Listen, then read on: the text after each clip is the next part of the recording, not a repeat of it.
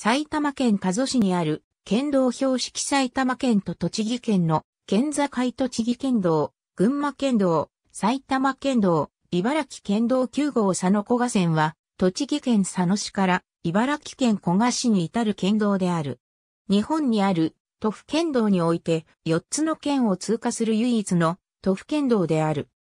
栃木県佐野市佐野町中心街地に位置する浅沼町交差点で栃木県道67号桐生岩船線より分岐し、渡良瀬川に沿って南下して、渡良瀬遊水池の西岸を経て、茨城県古河市中心市街地の茨城県道261号、乃木古賀線交点に至る県道で、茨城県南西部、埼玉県北東部と栃木県佐野市を短絡する地域の動脈でもある。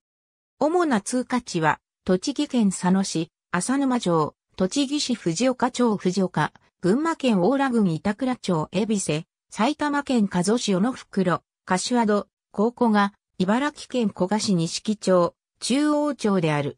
渡良瀬川を渡る埼玉、茨城県境の三国橋は、国道354号と重複する。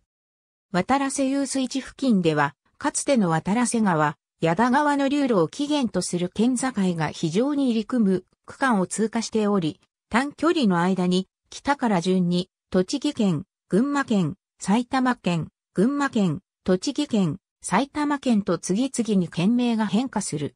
4県を経由する県道は全国でも唯一であり、埼玉県と栃木県が直接的に接する区間を走行する唯一の県道でもある。渡良瀬遊水地の存在ゆえ周囲に並行する道路が少なく本道を迂回すると極めて大回りのルートとなる。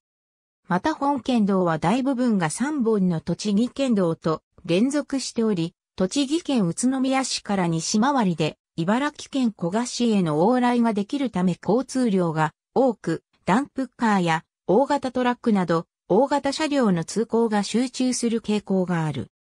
道路法の規定に基づき、茨城県内の古河市、西木町同市本町間は緊急輸送道路として機能を維持するため、災害発生時の被害拡大防止を目的に、道路用地内に連中を立てることが制限されている。